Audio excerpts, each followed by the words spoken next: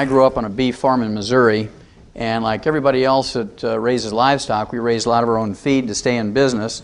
And we raise corn and soybeans and hay, and uh, we grind this stuff up into a flour, and we'd add vitamins and minerals and trace minerals. You make pellets, and you feed those calves for about six nine months, and then you ship them off to be butchered or maybe to other feeders. And you always save back the very best ones for yourself, and you knock them in the head and eat them. It's a real simple cycle on the farm. And the thing that fascinated me as a teenager was that we went to a great deal of trouble for those calves, and yet, as a family, we ate out of the very same fields. We'd keep back five rows of corn for ourselves. We had a garden at the end of the field where we grew our peas and beans and squash and tomatoes. And we wanted to live to be 100 with no aches and pains, and we didn't give ourselves the very same vitamins and minerals and trace minerals that we gave the calves. And I always used to ask my dad, I'd say, Hey, Pops, how come we go to all that trouble for those calves and, and not for ourselves?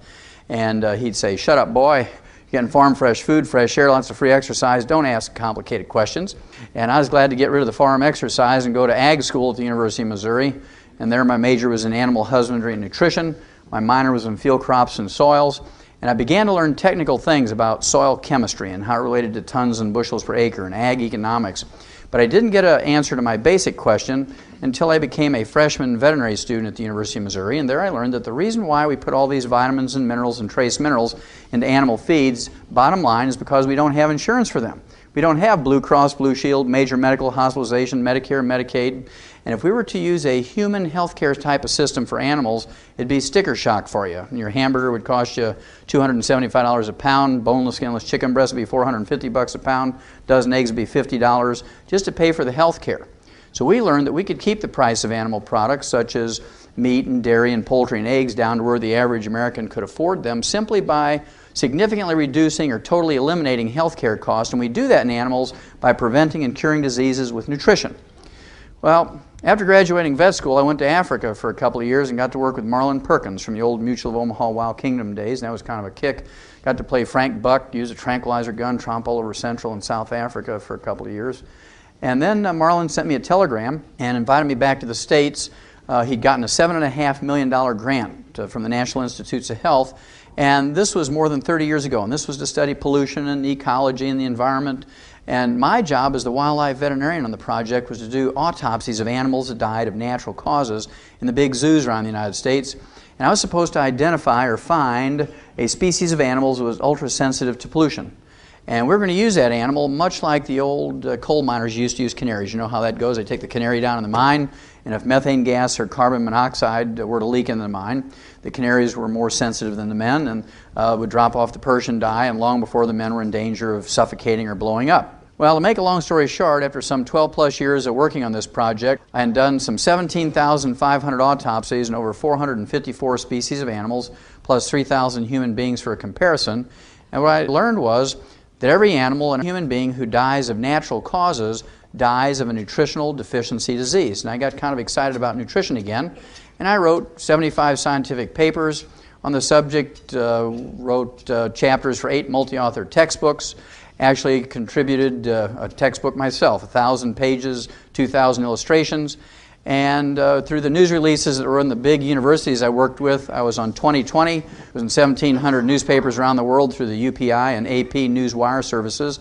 And with all this public exposure and with all this scientific exposure, I couldn't get people who are in a position of authority, either in medical research or in politics, to get too concerned or interested in preventing and curing diseases in human beings with nutrition, just like we did in animals. Well, I got frustrated enough. I went back to school in Portland, Oregon, became a physician, and I practiced there for 12 years as a general family practitioner. And uh, I sewed up chainsaw wounds, delivered babies, um, used everything that I'd learned in veterinary nutrition on my human patients. And it was no surprise to me that it worked just as well in people as it did in animals. Well, uh, to get started, I always like to talk about longevity. And the human being has the genetic potential to live healthily, to be 120. I'm going to prove that to you in just a minute. Unfortunately, Americans do a lousy job when it comes to longevity. Our average lifespan in the United States is 75.5, about half what we're genetically capable of. In 1990, when the World Health Organization examined the top 32 industrialized nations on Earth, the United States came out 17th. There was actually 16 other countries whose peoples live longer than we do. We ranked 19th in healthfulness. That meant that there were 18 other countries whose peoples live longer than we do before they develop heart disease and cancer and diabetes and arthritis and osteoporosis. We ranked 23rd when it came to live births and first year survivabilities of babies, and we ranked dead last, 32 out of 32, when it came to preventing birth defects. Now, what all this means is we have the highest priced healthcare system in the world but not the best. It also means that we have the most envied healthcare system in the world, but not the best. We have the most technologically advanced healthcare system in the world, but not the best. Well, I had a good friend by the name of Christopher Bird uh, for many, many years, over 20 years, and Chris uh, was a best-selling author on books on organically grown food. He was an expert in this subject, and uh, I was always trying to give him vitamins and minerals, and he refused to take them. And he'd tell me, "Doc, I bring my own cooler. I don't eat any uh, hotel food. I bring my own organically grown food, and so I don't need to take vitamins and minerals." Well, I was changing planes uh, again in Atlanta, had an hour to kill, picked up the local newspaper, and guess whose obituary I found in the newspaper? Chris Bird. Of course, again, he was a best selling author of books, uh, The Secret Life of Plants, The Secrets of the Soil, and he died at age 68 from a ruptured aneurysm, a type of stroke, seven and a half years before the average American dies. And he led a pristine life, lived up in the mountains, had an organically grown garden, collected herbs, you know, like Euell gibbons, and ate wild hickory nuts and all those kind of things. And because of his belief, he died of a copper deficiency. And I'll show you in a minute that copper deficiency causes ruptured aneurysms. And it's just a tragic thing that, people have so much to give and die at less than half their genetic potential for longevity. A lot of people say to me, Doc, I don't need to take vitamins and minerals and trace minerals because I use herbs. Now, herbs are not nutrition. You have to understand that herbs are not nutrition. They are great plant medicines. Uh, they're safer, they're more economical, and in most cases are more effective than prescription medications that doctors will give you, but they're plant medicines. If you have diarrhea, they can tighten you up. If you have constipation, they can loosen you up. If you have hypertension or high blood pressure, they can bring it down. If you have a fever, they can bring it down. But don't expect to get enough calcium or selenium or boron or copper or vitamin A from herbs. Well, I've been doing biomedical research and clinical research in animals and human beings, and I can tell you no matter how you look at health and longevity, whether it be in animals or human beings, there's only really two concepts you have to deal with. Concept number one I refer to as avoid stepping on the landmines. This is where you don't want to throw away your healthy physical body wastefully. You don't want to smoke. Don't abuse alcohol. Don't do drugs.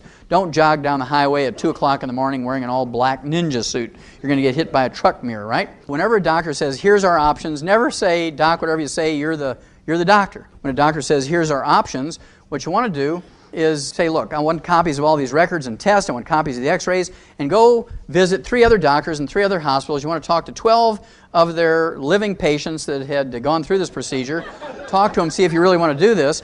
I mean, you do this for your driveway and your roof and your fence and your yard and all that kind of stuff. Why not for your own physical body? That's concept number one. Now that you've avoided the landmines, you're in a good position to do all the positive things that you need to do to go on to live to be over 100. Basically, what you want to do is take all the essential nutrients 60, that's 6 O minerals, 16 vitamins, 12 essential amino acids, and 3 essential fatty acids. And they're called essential nutrients for two reasons. Number one, your body cannot manufacture them. You must consume these every day, either as food or as supplements. Number two, if any one of these essential nutrients is missing for a couple of months, a couple of years, you get on the average 10 deficiency diseases.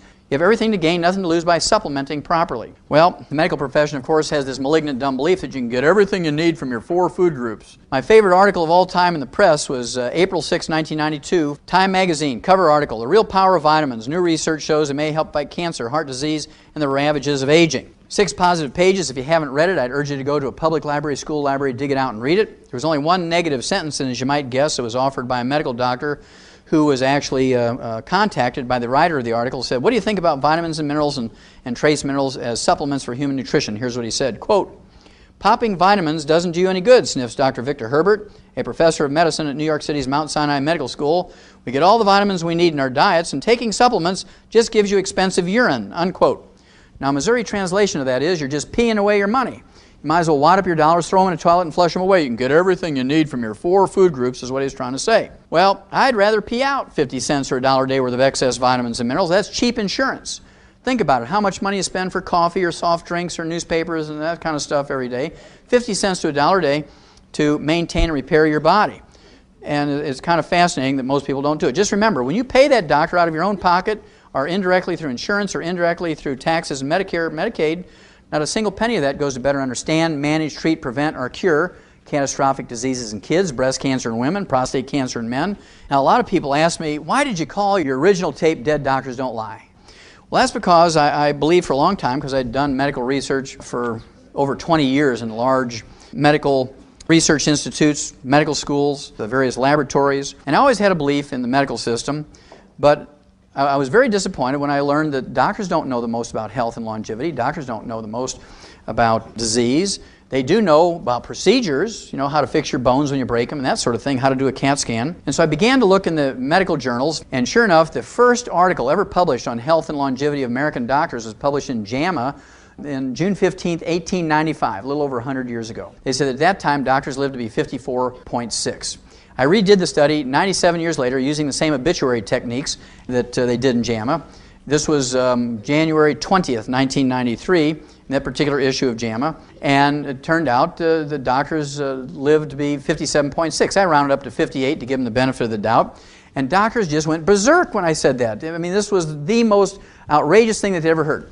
My principle is, my, my premise is, that doctors don't live as long as the average couch potato in America. And I purposely put that figure out there at 58 to try and challenge people. Well, doctors immediately looked at all the insurance actuarial charts. They got 250,000 dead doctors. They said, Your group's too small. So they looked at 250,000 dead doctors and they say, Doctors don't live to be 58, they die at 62. They still don't live to be 75.5 like the average couch potato. We actually uh, reran this again uh, using the entire obituary history for 1996. And for the entire 1996, of all the doctors dying in 1996, with all the medical treatments and drugs and, and procedures and everything and transplants, doctors in that study lived to be 70. Still five and a half years short of the average couch potato in America. So they still have never proven that doctors live as long as everybody else, and that's why dead doctors don't lie. Now, if you do everything right, how old can you live to be? Is it worth all the effort? I believe it is. Here's one Christian Mortensen from San Rafael, California, in August of 1995 turned 113. August of 1996, he turned 114. He's still going strong. Certainly can live to be 115. Uh, smokes a couple of cigars a day, like George Burns, who also lived to be over 100. Uh, certainly was, I guess, the only exercise George Burns ever did was put the cigars in his mouth. This gal here, Dora Ramathebe from South Africa, in July of 1995, turned 114. And when she was asked by the media, Dora, what do you attribute your health and longevity to? She did not say that we owe it all to our annual physical or our HMO. She said, I ate locust every day. You know, a little grasshopper. She's not a vegetarian. She's little animals. Pumpkin seeds, tortoise meat, wild herbs, dried fruit, and starts each day with a cup of coffee. This gal here, Margaret Skeets from Radford, Virginia, in 1994 was the oldest documented living American when she died at age 115 fell over and fractured her hip. Three weeks later, she was dead from complications of osteoporosis, a simple calcium deficiency, and we'll talk more about this in a minute. Unfortunately, this is not unusual. 75% of all Americans over the age of 65 who fracture a hip or major leg bone don't live 90 days. They die of pneumonia, pulmonary embolism, stroke, and other complications of that fracture. Susie Brunson, according to her family, in December of 1994 was the oldest American when she died at age 123 and they base their claim on her birth date, December 25th, 1870, which is recorded in the family Bible. Then this fellow here, Francisco Barrasanueva Chaparina, October 1995. He was from a little town outside of Bogota, Colombia, turned 125. When he was asked by the media, Francisco, what do you attribute your health and longevity to? He said, Well, I drink a gallon of goat's milk every day. Also, it's kind of fascinating in his birthday announcement. This is not an obituary, this is a birthday announcement. Said that over 40 years ago, his physicians told him he only had a couple of months to live, so he had his sons build him a coffin. And uh, he's been waking up every morning for more than 40 years, sitting by that coffin waiting to die. Good night time comes, he goes to bed, wakes up the next morning, sits by the coffin, waits to die. Now, he's still going strong, and all the doctors who told him that more than 40 years ago are long since dead. Now, this fellow here, Hamoudi El Abdullah from Syria, died at age 133, and he was still fathering children after the age of 100. He um, remarried for the fourth time when he was age 80 fathered four boys, five girls, nine children after the age of 80 with the same wife. And you add up the pregnancies and the breastfeeding, the time in between pregnancies, he was still fathering children after the age of 100. Now, this very next one is my very, very favorite. This gal, Mazumi Dusti from Iran, according to the Rocky Mountain News Wire Services out of Denver and the Iranian News Agency, this was January of 1995. She died at age 161. Now, you have to give a certain amount of credibility to this obituary report that she died at age 161 because she was survived by six living children ranging in age from 120 to 128. They hadn't even left home to go to college yet. now, her oldest son, Golam, said his mother had never visited a doctor nor taken any chemical medications during her life, did take a few herbs. So if you kind of think about it, every one of these people who live to be over 100, 120, 130, 160, these people are not from United States or Canada or Germany or England. Kind of interesting, isn't it? They're, most of them are from third world countries. They're furthest away from medical help, and they live to be old. So we're beginning to collect information here. The last one we want to look at, the National Geographic Society, a very respected group of uh, people, scientists and, and so forth, and support groups for science. Uh, comes out with a monthly magazine, the National Geographic magazine, of course. And they, uh, in January of 1973, came out with a nifty special issue on longevity. They, they looked at cultures whose people live to be 120, and they documented the oldest living human being that they could find based on their criteria. This fellow, uh, by the name of Sherali Mizmulov from Azerbaijan, a little country just south of Russian Georgia in western Russia today, they documented him as being 167 years old. Remember, this is the National Geographic Society, not the National Enquirer. 167 years of age, and they had a half page picture of him actually harvesting tea leaves in a tea plantation, still working eight hours a day, six days a week when he's 167. Five months later, May of 1973, Sherali Mizmulov turns 168, goes out and hoes the garden for reporters to show how vigorous he is. Now, for at least 50, maybe 70 years, medical doctors in America have been poo pooing the idea that you could live well beyond 100. You know, people who lived 115, 120, they were 1 in 6 billion. It wasn't something that everybody could look forward to. And anybody who tried to teach people how to live to be 110, 120, 140 were considered charlatans and quacks and taking advantage of uh, older people. I was glad to see this come out. Uh, this was a news article in the USA Today newspaper in October of 2000 and it was based on a article in the journal Science, very respectable journal.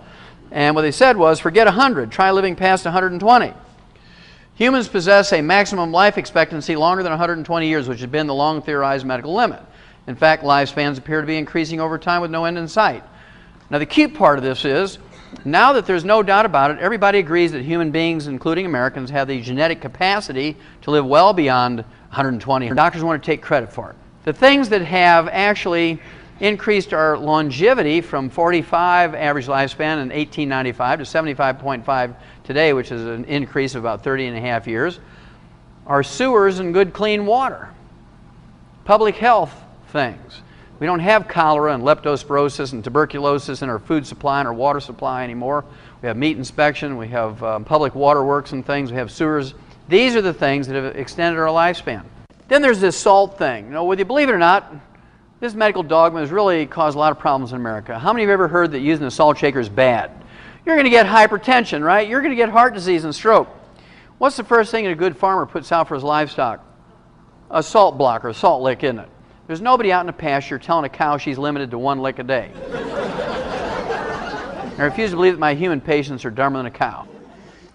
Say, look, go ahead and pick up a salt shaker, and you're going to see that lightning won't strike you. You can go ahead and salt your food to taste, you can salt your body, nothing bad is going to happen. And 98% of my patients love it. They bring me hundreds of new patients every month who want to use salt and not uh, feel guilty about it. And 2% the bean counters, they say, now, Wallach, we love you and respect you. We have this high priced cardiologist that says you're flying in the face of all the weight of medical evidence.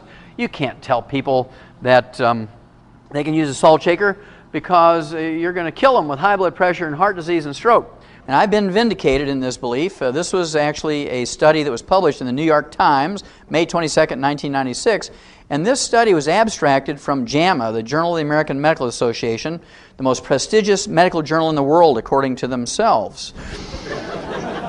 now, in this particular journal, a Dr. Alexander Gordon Logan, who's an epidemiologist and cardiologist on the teaching staff of the medical school at the University of Toronto up in Canada, and he took 56 existing studies on hypertension or high blood pressure and restriction of salt, combined the data from these 56 studies, which included 3,505 people. He threw away all the conclusions and reevaluated the larger group. And what he found out was this if you have normal blood pressure and you restrict salt, it will not prevent you from getting heart disease or high blood pressure. If you have hypertension or high blood pressure and you restrict salt, 97% of those with high blood pressure or hypertension who restrict salt will not get any measurable benefit. 97% will not get any measurable benefit. Zero. 2 to 5% get measurable benefit, but it's not significant. They're only able to reduce their blood pressure by 3.7 millimeters of mercury. So here's what Dr. Alexander Gordon Logan said in JAMA, May 22, 1996. He said, You might as well go ahead and salt your food to taste. It's a meaningless exercise. Don't get paranoid about salt.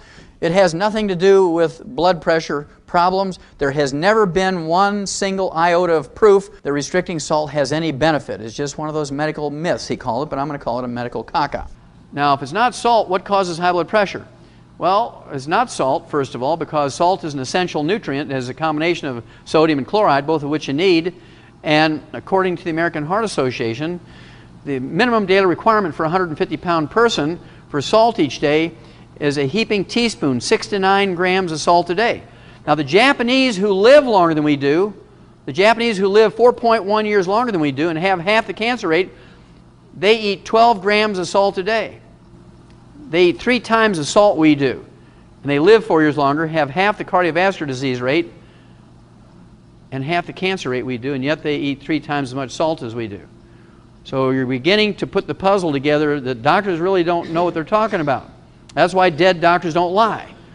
Well, if it's not the salt, and if it's not genetic, what is it? Well, it's actually just a simple mineral deficiency. Raise your hand. You ever heard that cholesterol's bad? And you got to get it low in your blood. You got to have a low cholesterol diet. Otherwise, you're going to get heart disease, right? Doctors would like to blame all cardiovascular disease on cholesterol. We've known for 75 years in the animal industry that cholesterol is not a boogeyman. There's not a single disease that's caused by elevated blood cholesterol or triglycerides. If you can find me one, I'll give you a million dollars in small bills in any offshore account you want. There's not a single disease that's caused by elevated blood cholesterol or triglycerides.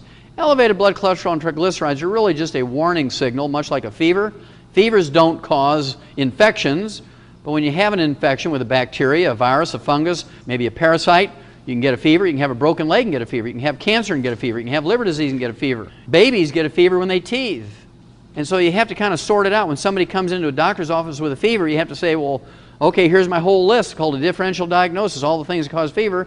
If they're 80 years old, you can quickly rule out teething, right? But the rest of them, you may have to do some lab tests for. At any rate, the same thing is true for elevated blood cholesterol and triglycerides. When you have elevated blood cholesterol and triglycerides, it might mean that you have hypothyroidism or low functioning thyroid gland. You could have diabetes. You could have uh, deficiencies of niacin, chromium, vanadium, the essential fatty acids. You could have liver disease. All kinds of reasons why you might have elevated blood cholesterol and triglycerides, but they themselves don't cause any problems. Now, the Eskimos above the Arctic Circle have a traditional diet that's 98% red meat and blubber. Uh, they whale meat, whale blubber, uh, walrus meat, walrus blubber, seal meat, seal blubber, bear meat, bear fat. There's not a single Eskimo above the Arctic Circle that has a Mr. Juice Man juice or eats organically grown broccoli.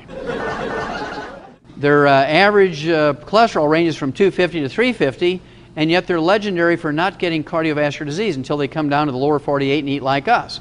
Then when they get the cardiovascular disease, they go back home to die up above the Arctic Circle. They start eating whale blubber again, and it goes away. Well, learning all that, I felt very confident in telling my patients, look, we're going to do something different. My goal as a physician is to have my patients die at an average age of 100. I don't want my patients dying at 75.5. I want to give them another 25 years. I want the average lifespan for my patients to be 100. And uh, we're going to do something different. If you want to do everything that all the other doctors and patients are doing, I want you to go to them because I don't want you to lower my average, right? We're going to do something different. It's just real simple. My favorite disease is arthritis. I love arthritis. Now, the reason why I love arthritis is it's easy to fix.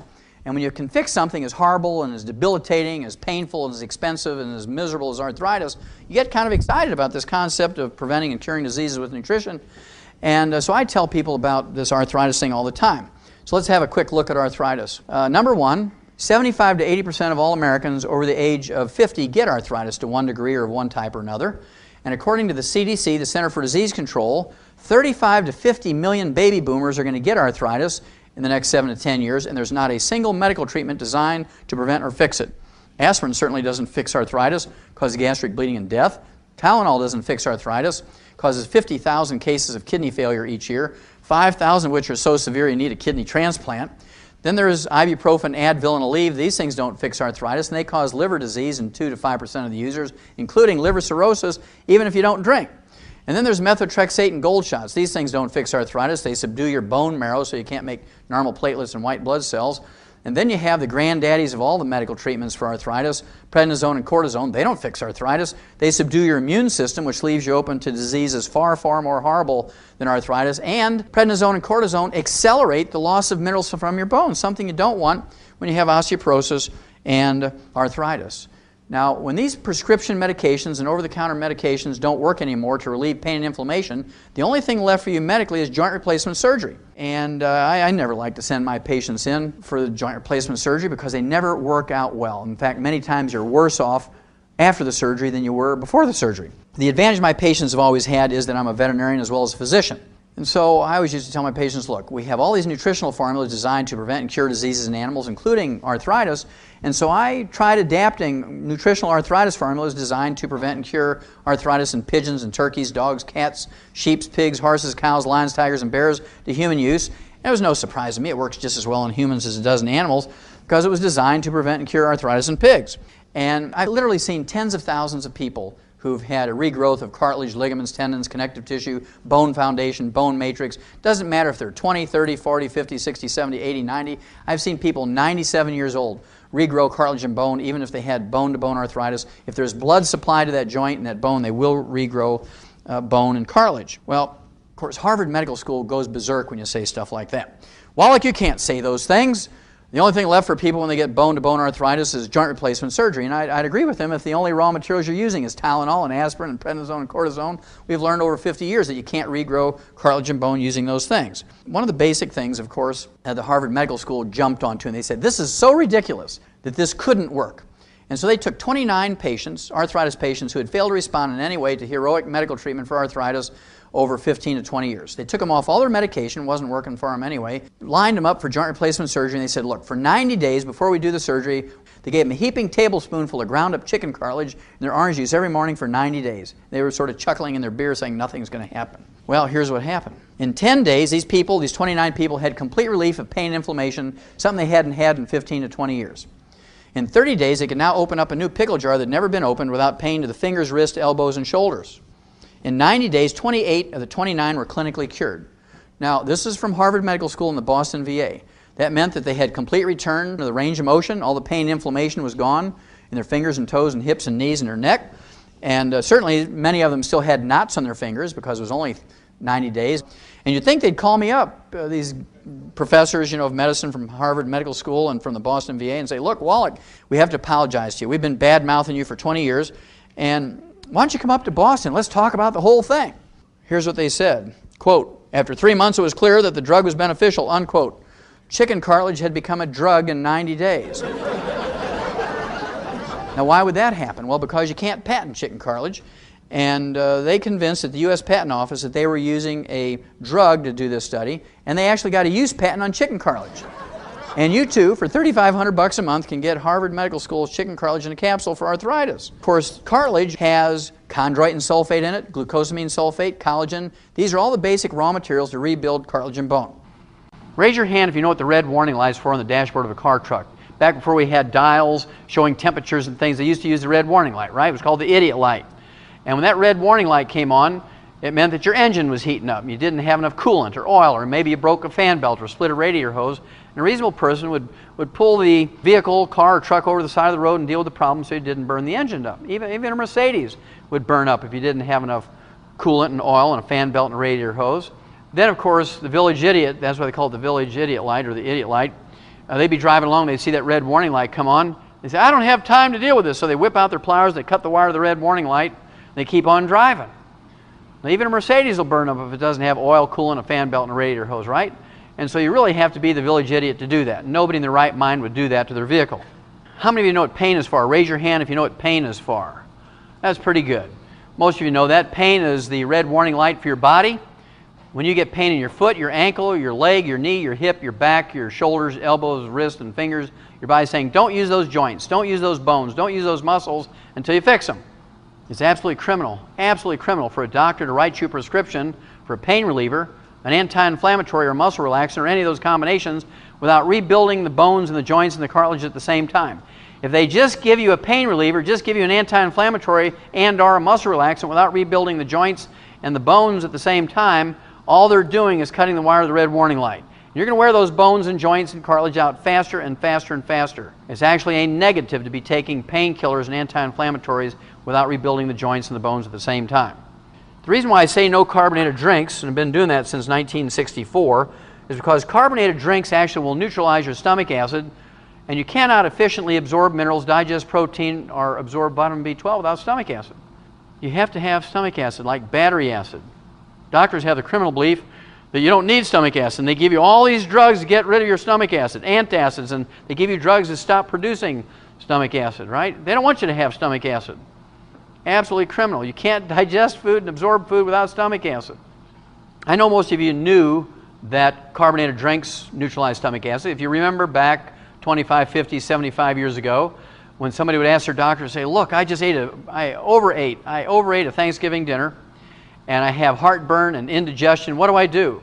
And that was before they had Zantac. They say, well, take some 7-Up, drink some ginger ale, drink some club soda, take, take some uh, sparkling water, because the carbonation will neutralize your stomach acid and give you some relief, and it would.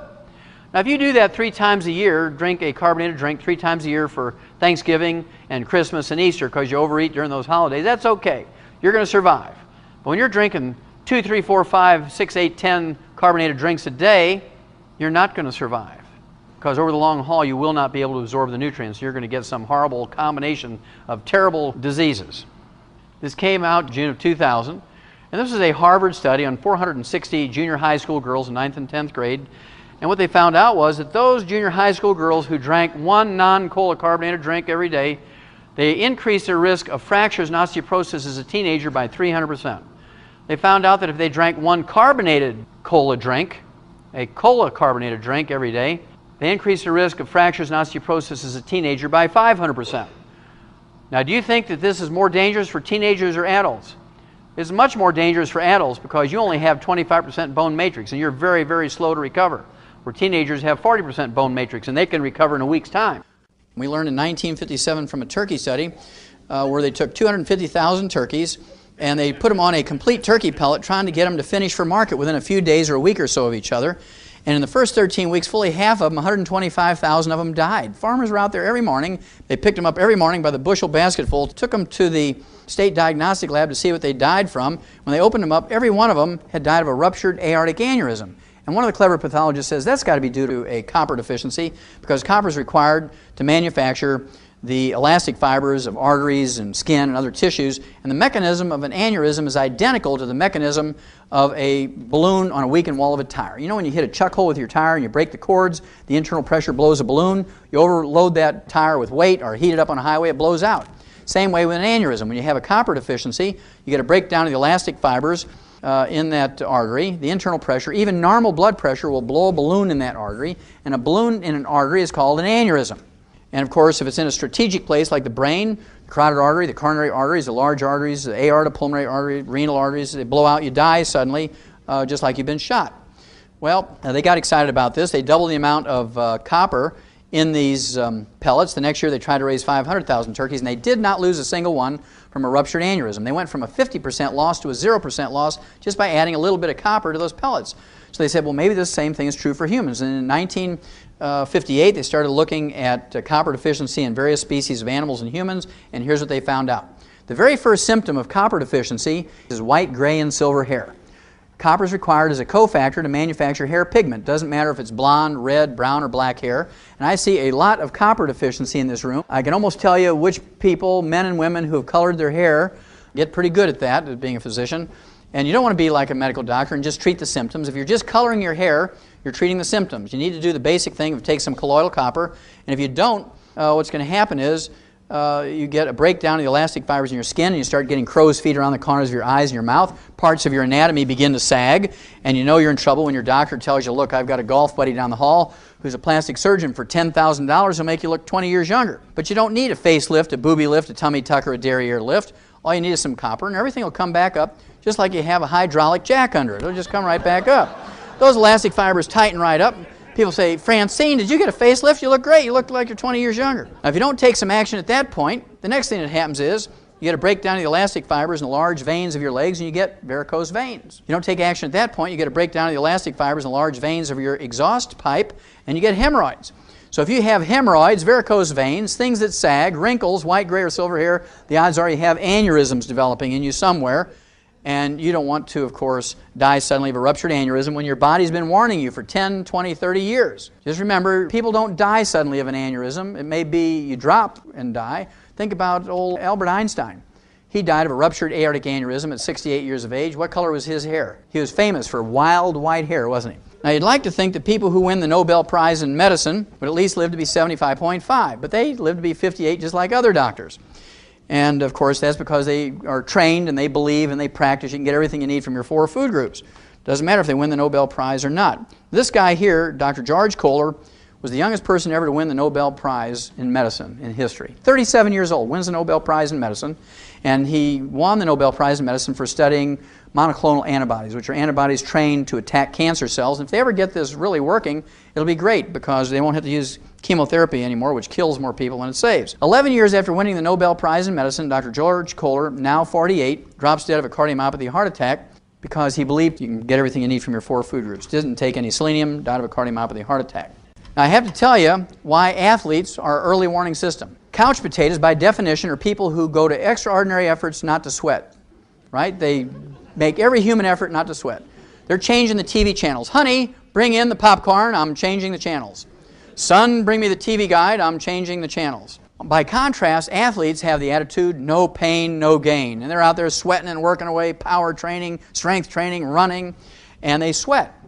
Athletes, no matter age, eh, they sweat more in five years than couch potatoes do in 70 years. And when you sweat, you don't just sweat out potassium and Gatorade, you sweat out all 60 essential minerals. If you sweat out all of your selenium and don't replace it by supplementation, you're at higher risk of getting a cardiomyopathy heart attack. You sweat out all of your copper and don't replace it by supplementation, you're at high risk of developing an aneurysm and dying suddenly of a ruptured aneurysm. You sweat out all of your chromium and vanadium and don't replace it by supplementation, you're at high risk of getting diabetes.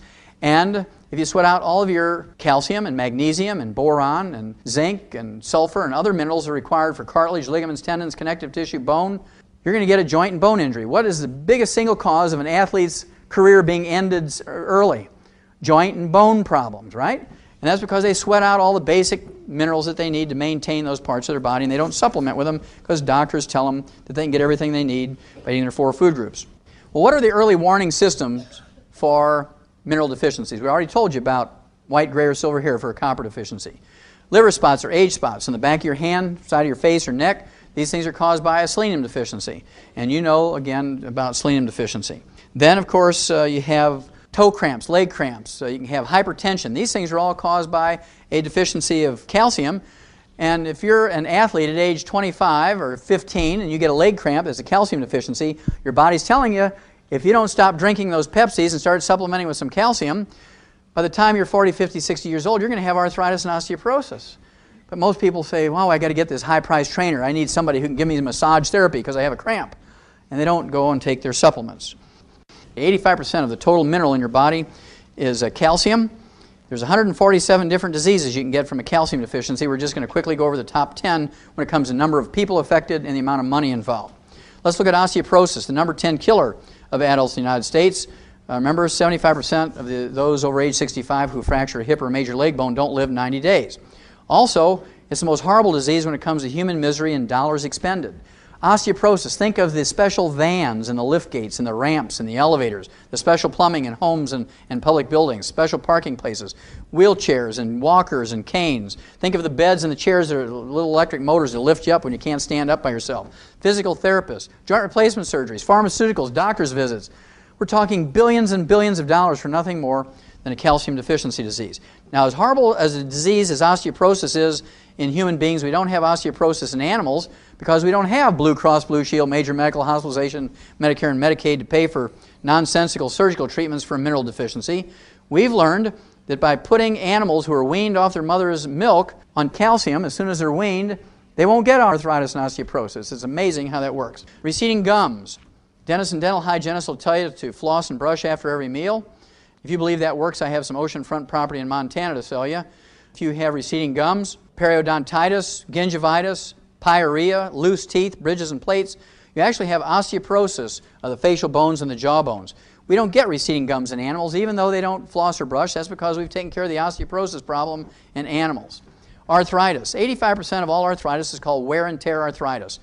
Osteoarthritis, degenerative arthritis, ankylosing spondylitis. These things are nothing more than osteoporosis of the joint ends of the bones. Hypertension, high blood pressure, as you've learned, has nothing to do with salt or salt restriction.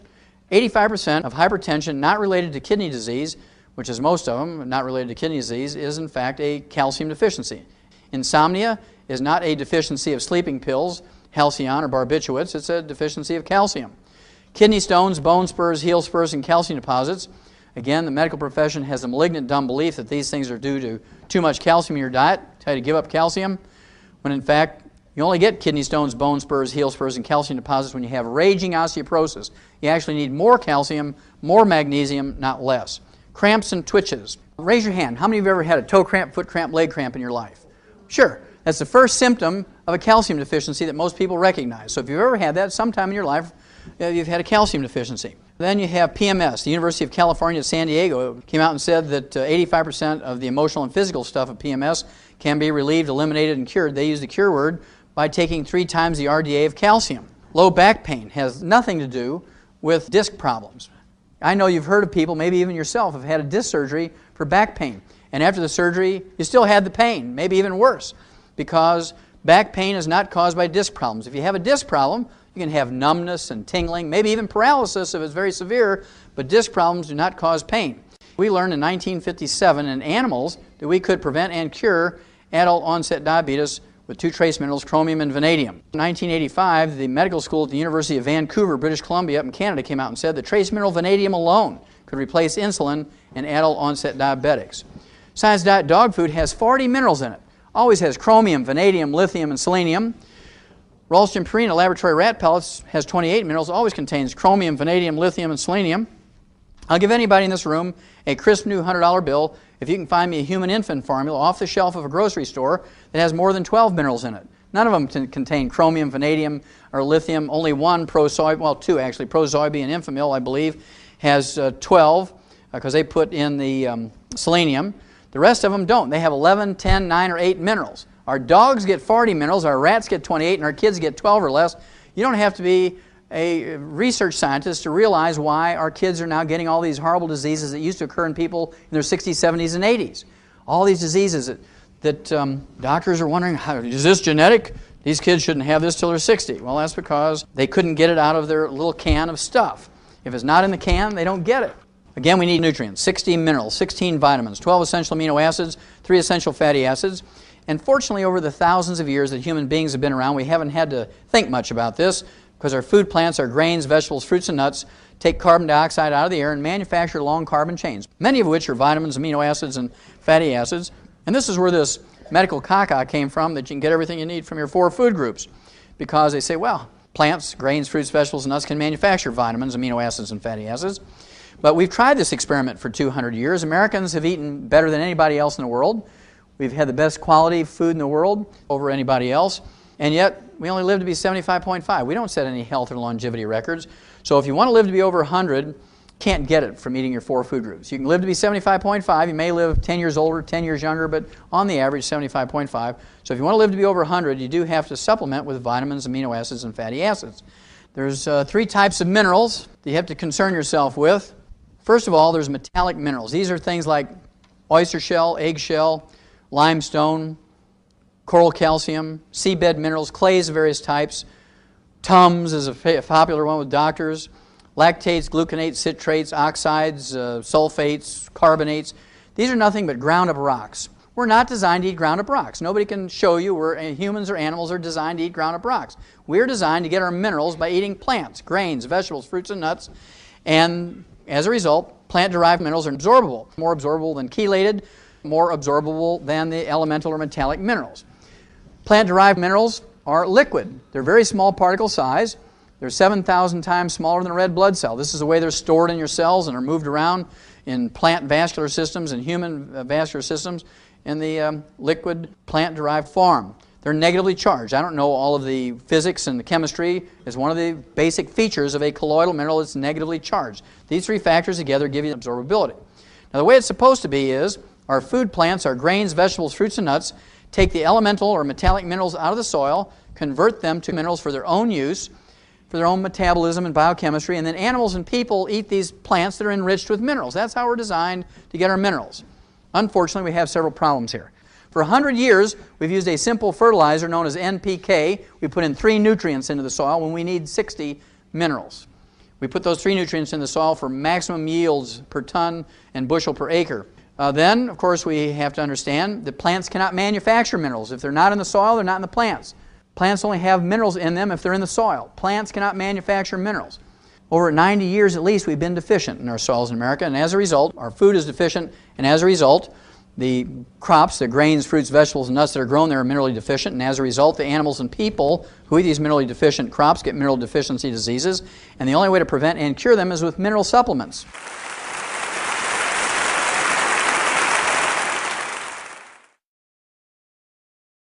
Yes, I'm a construction worker, and um, I hurt my back. And he said that my uh, cartilage damage is permanent. Is there anything that can be done? Well, first of all, how old are you? I'm 28 years old. And what do you normally take for fluid replacement when you're working out in construction? What do you drink during the day? Uh, water, Gatorade. You don't drink any soft drinks? Uh, yes, I do. Okay, because normally construction workers drink a couple of liters of Pepsi a day, right? Yeah, I can probably put down a liter pretty easy. and did you take any vitamins or minerals while you were working in construction? Um, just recently started. Well, when you were in construction prior to the No. back problems? Nothing. Yeah, a lot of con- construction workers will tell me, well, Doc, if it ain't in the Pepsi, I don't get it, right? and so uh, you're a perfect candidate for the pig arthritis formula uh, plus the EFA. You need all 90 essential nutrients and give up the bad things. Give up the soft drinks and the iced tea and the lemonades and, and um, give up the fried foods and the margarines. And uh, I can just tell you, with your age, uh, you can honestly expect to see some uh, really recognizable results in a very, very short time 60 to 90 days. And it doesn't matter what the doctor said.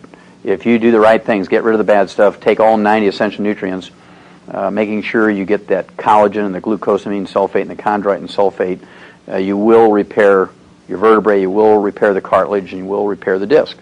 Dr. Wallach, it just seems like every week I pick up a newspaper and I see about our young athletes having problems with their bodies falling apart. What can we give our athletes and our children so that they can be healthy and have long lives that we want as well? That's a great question because most people believe that exercise is good for you. And that was always a great question. You know, is exercise good for you? Is it necessary for health and longevity? And when you inspect this question, uh, you have to look at professional athletes who uh, spend most of their teenage years and going through university and the semi-pros and the pros uh, training and practicing and doing their events. And, and if exercise was the factor in living a long healthful life athletes should live longer than couch potatoes. But when you look at this critically couch potatoes in america live to be 75.5 and the average athlete depending on the sport and their level of competence live to be 62 to 68 far short of what a couch potato lives to be. And of course, athletes suffer from a great many joint diseases and bone injuries and tendons and ligaments,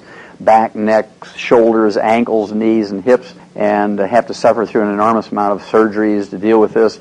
And athletes develop some 800 different diseases. And what is it? Why is it that athletes don't fare as well as the couch potato? Well, it's simply because athletes sweat more in five years than couch potatoes do in 75 years. And when you sweat, you're not just sweating out Gatorade, you're sweating out all 60 essential minerals. And they're called essential minerals because if they're missing for any length of time, you get some horrible degenerative disease, many of which are, are life-threatening. So you don't have to be a rocket scientist to figure out who's more likely to be debilitated or even die of these, these life-threatening diseases. An athlete who sweats out quarts of sweat during an event or training or practice or a couch potato who's laying on a couch in an air-conditioned den, switching the channels, yelling, honey, bring in the popcorn, I'm changing the channels.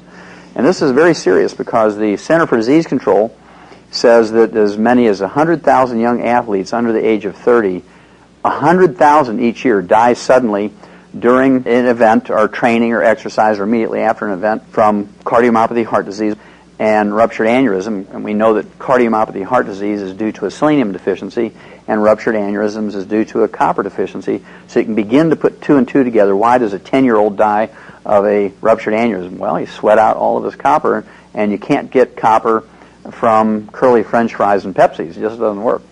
Dr. Wallach, what about arthritis? Well, arthritis is my favorite disease because it's easy to fix. Uh, it's one of the great myths that uh, the medical profession perpetuates is that uh, you can't build bone mass after the age of 50, 60, 70 years of age. You can only slow down the loss. And the reason why they say that uh, is because they try to rebuild bone mass using plain calcium, whether it's Tums or calcium citrate or carbonate or gluconate or, or lactate. And your body will not retain much or any of the calcium you supplement with in your bones without first building new bone matrix. You have to have new bone matrix. This is this, this rubbery collagen material that looks like tendon or skin, and it makes up 25 to 40 percent of our bone weight 40% when you're a child and 25% when you're an adult. And so it's absolutely essential if you want to deal with the wear and tear arthritis, osteoarthritis, degenerative arthritis, ankylosing spondylitis effectively, you have to take all 90 essential nutrients. And the best way to do that is with Dr. Wallach's pig arthritis formula.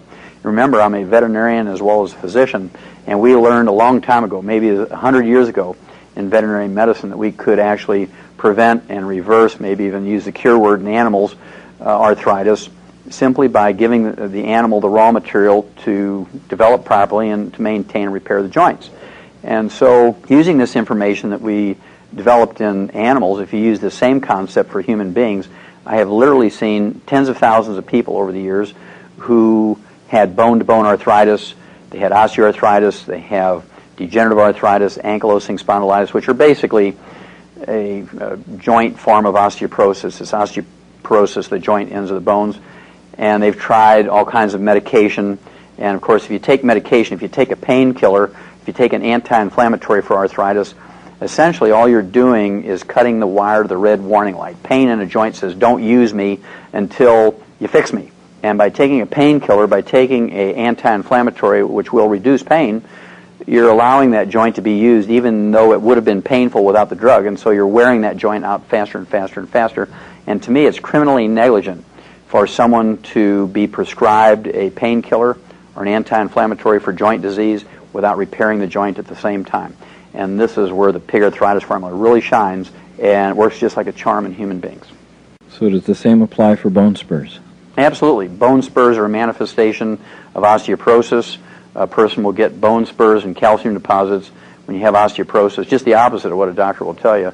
And you need more calcium, more magnesium, you need the bone matrix, you need the collagen, the glucosamine sulfate, the chondroitin sulfate, and those bone spurs and the calcium deposits will actually re-architecture back down to a normal bone. Takes a little while, it takes uh, four to six months to pull that off, but you can uh, do it on a regular basis, absolutely.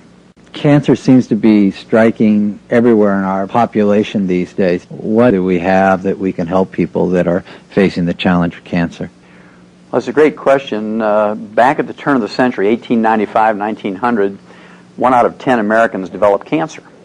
Right now, it's three out of five, and by the year 2050, it's projected two out of three people are going to develop cancer in America the onset of cancer appears uh, to be directly related to the amount of, of carcinogens. These are toxic waste either from agriculture or from the industrial waste that we find in our air and our food and our water and in the dust around us. And the lack of the ability to defend against these, these carcinogens. And the most common defense mechanism that we have, the, the one that we have access to in a very economical way, are the antioxidants like selenium, like the grapeseed extract, like the green tea. You're looking at vitamin E, vitamin C, beta carotene, and avoiding fried foods and margarines and, and things that we have control of, eating as much organically grown food as possible. And according to the medical school at the University of Arizona, and this came out in JAMA, the Journal of the American Medical Association, December 25th, 1996. I mean, we're talking about a great Christmas gift to the American people they did a wonderful study, 10 years. It was a double-blind study, 1,300 people. They gave the study group 250 micrograms, which is one quarter of one milligram, and we're talking an itsy bitsy amount of selenium. They just used selenium alone, didn't change anything else, and by giving these people 250 micrograms, one quarter of a milligram of the trace mineral selenium, they were able to reduce the risk of esophageal cancer by 71%, prostate cancer by 69%, greater than two-thirds, colon and rectal cancer by 64%, almost two-thirds.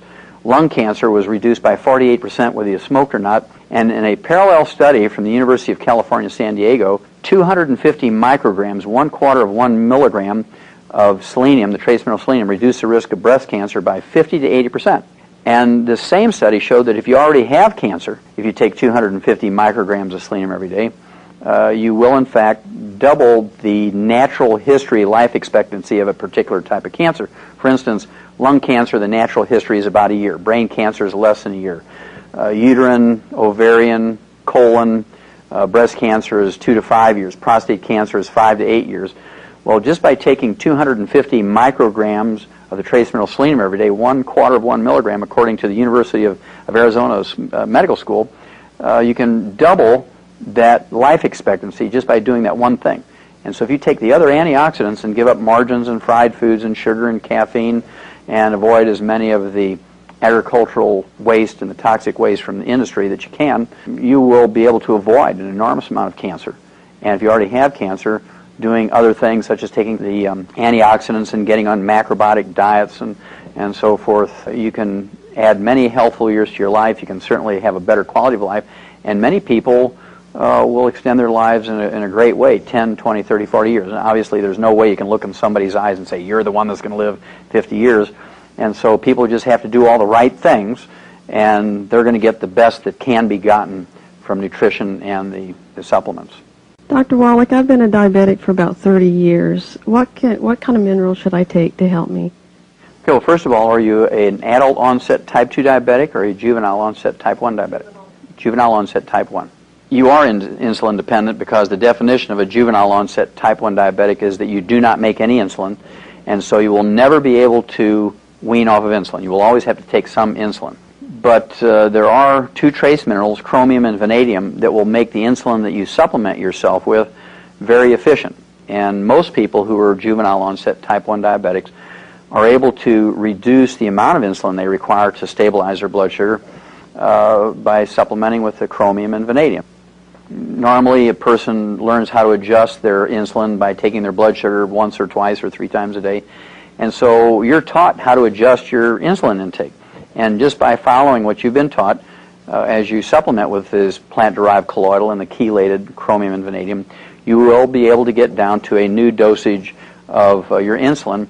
And the value of taking the whole pig arthritis formula is that th- there's nothing worse than paying attention to your blood sugar levels and your insulin intake and then dying of a ruptured aneurysm because you didn't su- supplement with copper or developing cancer because you didn't supplement with selenium. So it's very important, even though you're a diabetic and that is your primary immediate concern, still over the long haul, uh, being a health conscious person just out of necessity, uh, you're going to have to supplement with all 90 essential nutrients. And uh, the odds are, even though you're a juvenile onset type 1 diabetic, you have every honest expectation of living to be 100 uh, symptom free if you do everything right. Yes, my question is on Alzheimer's. Why is it more prevalent today that, than it was 15, 20 years ago? Well, actually, Alzheimer's disease was a disease that did not exist 40 years ago. Uh, Alzheimer's disease, even by another name, could not be found in any medical dictionary or textbook or taught in any medical curriculum. It only became an entity in the uh, medical literature in 1979, and today it's apparently the number four killer of adults in the United States over the age of 65, behind cardiovascular disease, cancer, diabetes, and then comes Alzheimer's disease. And it, it appears uh, to me with no doubt that it's due to what I call a physician-caused disease because doctors have, have encouraged people, in fact demanded that people uh, give up saturated fat and cholesterol and move towards a cholesterol restricted or even a cholesterol free diet to get their blood cholesterol down below uh, 200 and they have created no less than 25 of these cholesterol deficiency diseases, and to me, Alzheimer's disease is one of the big ones. 75% of our brain weight is pure cholesterol. It's called myelin. It's this fatty stuff that insulates each nerve fiber the brain and spinal cord. And we can only make about 10% of our daily need of cholesterol. The other 90% must come from the diet. And if a person is very, very good at giving up chicken skin and red meat and dairy and eggs like a doctor would have them do, after about six or eight or ten years, they're not going to be able to keep up with the maintenance and repair needs of the cholesterol for the myelin in the brain and spinal cord. And so you can just expect that the person is going to develop one or more of these 25 physician-caused diseases, including acquired seizure disorders and Alzheimer's disease. Now, the best way to avoid Alzheimer's disease is to eat a couple of eggs every morning for breakfast, not cooked in margarine or fried. Uh, you want to consume as much as 72 ounces of red meat every month. And I know that sounds like a lot, but it's just a quarter pounder a day. And uh, you want to supplement with all 90 essential nutrients. And when you get to the, the vitamin E level, you want to have at least 2,000 international units of vitamin E, and you want 500 micrograms of selenium. And if you do that, even if you already have Alzheimer's disease, you can expect to have a significant amount of return of memory. Great study done by the University of California, San Diego, and the Salk Institute that says by taking 2,000 international units of vitamin E alone, even if you have advanced Alzheimer's disease, you can get a significant amount of, of memory return. I remodel homes for families. You notice these little children bouncing off of walls and uh, what they get for breakfast and a snack after breakfast and then lunch again normally has sugar in it. Is there any uh, correlation here with uh, ADD? Absolutely. Back at the turn of the century, 1895 to 1900, Americans were eating a half a pound of sugar per person per year. Today it's 150 pounds of sugar per person per year, and somebody out there is eating 300 pounds because I don't eat any. And I can tell you that there's a direct correlation between the increase in ADD, ADHD, depression, manic depression, bipolar disease, and the increased consumption of sugar. And if you look at it, there's 5 million American children, school-age children, who are on Ritalin and Prozac and imipramine and other antidepressants in school. 5 million drugged American kids in, in preschool and uh, elementary school simply because these kids are sensitive to sugar, like many people are sensitive to alcohol. Uh, there's good alcoholics who just kind of go to sleep when they have a couple of drinks. Uh, there's the people who get boisterous and sing loud Irish songs when they take a couple of drinks. And there's some people who get violent and, and very angry and become dangerous to themselves and other people. Uh, child abuse, spouse abuse, they abuse their neighbors. Road rage is another way of looking at this. Uh, life-threatening situations. Uh, people actually will gain criminal behavior sometimes because alcohol acts like a drug in them. Same way with sugar. Some people, when they take in sugar, they have low blood sugar and they just get drowsy and fall asleep. Some people, when they take in sugar, they get hyperactive and boisterous and, and uh, actually uh, ADD, ADHD. And then there's some people, when they take in sugar, again, will have road rage. Uh, they're very, very um, uh, aggressive and reactive and can be dangerous to themselves and their families and other people in the community. And to me, it's criminal for Coca-Cola machines and, and candy machines in school and then wonder why kids beat up on each other or shoot each other.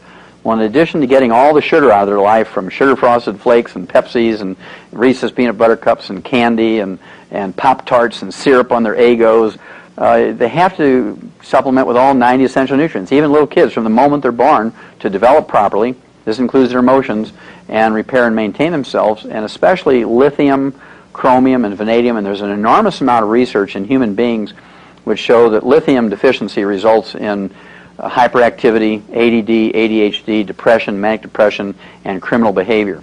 And so they have to do both.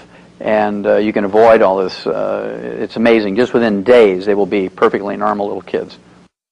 My next question is, my husband and I are thinking about starting a family, and we want to know the, the nutritional way to go.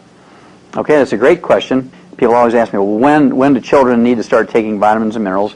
And the answer is when they're still an egg is when you want to start them. And so uh, we've learned in the animal industry, and remember I'm a veterinarian as well as a physician, we've learned in the animal industry that we could prevent as much as 98% of all birth defects, even ones that are thought to be genetic in humans, simply by giving the females, especially the females, all known essential nutrients for that species six months prior to conception.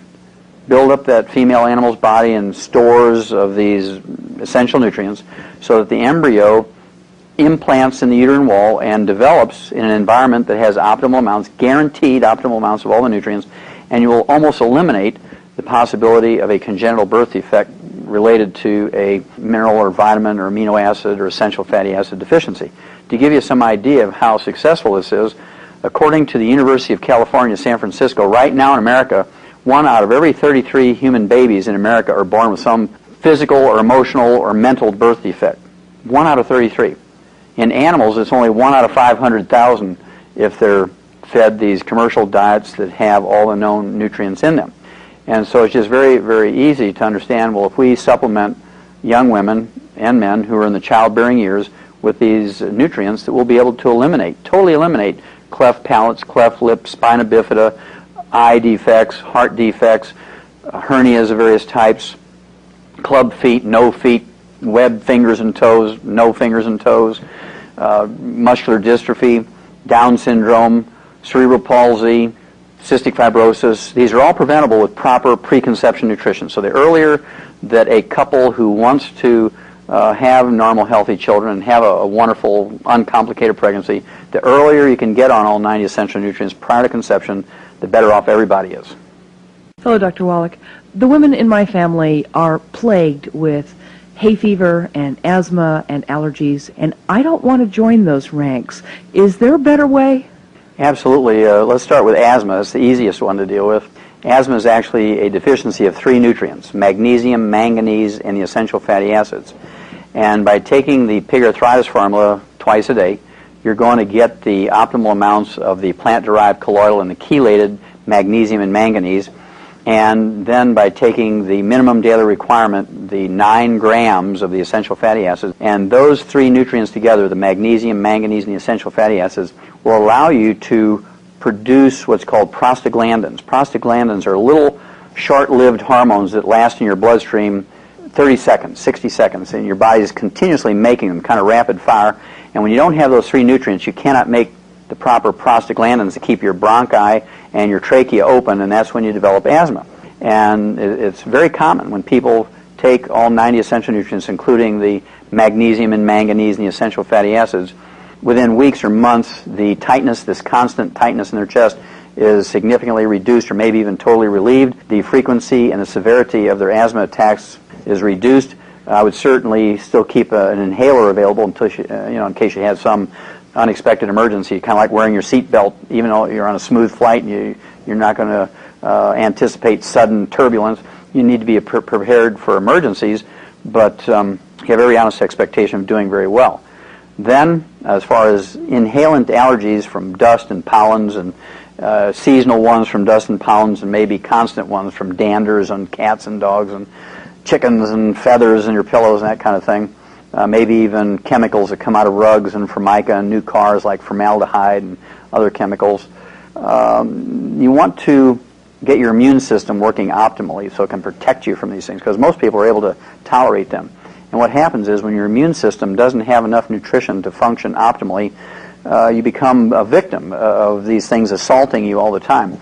And so what you want to do is, number one, take all 90 essential nutrients. So your, your immune system, which includes your liver and your spleen, your tonsils and your appendix, uh, your thymus, uh, your um, white blood cells, which include the neutrophils and the lymphocytes and the uh, killer T cells and so forth. Also, you have eosinophils and basophils. You have neutrophils. All of these white blood cells, you have albumins and globulins, which are the the um, immune proteins, you have antibodies themselves, you have your digestive system, your skin, your tears, the mucus in your body. All of that requires 90 essential nutrients to produce this immune system, which is not just your killer T cells. Uh, it, it, includes all of these tissues and, and cells and organs of your body. Uh, also, if you have these types of problems, you want to get uh, some of these HEPA filters uh, at your workplace, in your home when you sleep. You can get the ones that you plug in your car you want to eat as much organically grown food as possible. You want to drink filtered uh, waters. You want to get as much chemicals out of your diet as possible and uh, reduce this pressure on your immune system. If you have food allergies, you want to have a five-day rotation diet. You want to take the enzyme, which has the pepsin and the betaine hydrochloride, which will help a person digest the proteins down into single amino acid. And it's the proteins and the allergens, such as danders and foods and pollens and dust, that cause the, the uh, allergies and even can initiate an attack of asthma. Thank you. You're very welcome. Is it possible that you can take too much? Well, it's a great question because people are concerned about overdosing with vitamins and minerals. The general answer is that if you look at the medical profession, according to the Center for Disease Control, Harvard Medical School, the U.S. News and World Report, Ralph Nader, Sidney Wolfe, RAND Corporation, and many, many other well-respected institutions, they say that doctors kill 150,000 to 300,000 Americans each year in hospitals alone as a result of medical negligence. Doctors injure 1.3 million Americans each year in hospitals alone as a result of medical negligence. And doctors infect 2 million Americans alone in hospitals as a result of medical negligence for a total of 3.5 million casualties inflicted on the American public each year in hospitals just as, as a result of medical negligence. On the other side of this picture, there's not a single person who's overdosed in vitamins and minerals and trace minerals uh, to the point where they have to be hospitalized or anything bad happened. And so when you compare the safety of vitamins and minerals and trace minerals and compared with standard medical procedures, it's enormously safe. And that's why I'm so excited about nutrition and the pig arthritis formula and the plant-derived colloidal minerals, and that's the direction I'd go.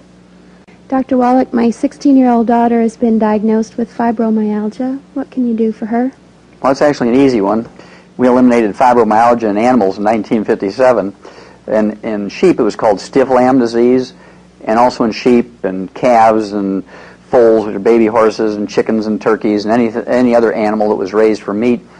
Uh, the disease is uh, caused by a deficiency of three nutrients, the trace mineral selenium, vitamin E, and the sulfur-bearing amino acid methionine.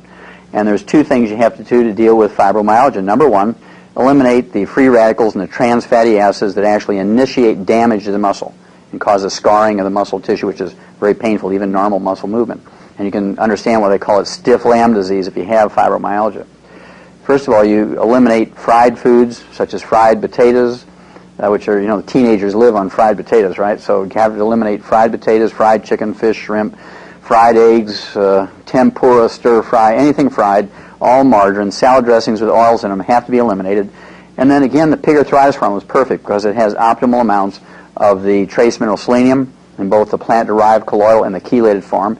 It has optimal amounts of vitamin E and the sulfur-bearing amino acid methionine. And uh, it just works like a charm uh, very quickly. Within weeks or months, uh, they feel and they can recognize some benefit, and many people will get significant benefit very quickly. Dr. Wallach, are baby formulas enough for our babies when they're born? Unfortunately, not. Uh, our, our formulas that we give to dogs, whether you know, it's kind of like um, Diet dog food, are the puppy or kitten milk replacers for puppies and kittens you're going to raise by hand, have 40 minerals in them, including the uh, minerals um, lithium, chromium, vanadium, and selenium. Ralston Purina laboratory rat pellets contain 28 minerals, including lithium, chromium, vanadium, and selenium. There's not a single human milk replacer on the market, on a off-the-shelf of a grocery store that has more than 12 minerals. None of them contain lithium, chromium, vanadium, and only two, ProSobee and Enfamil, have selenium in them. And uh, it's tragic that we give our dogs 40 minerals and our rats 28 and our kids 12 or less.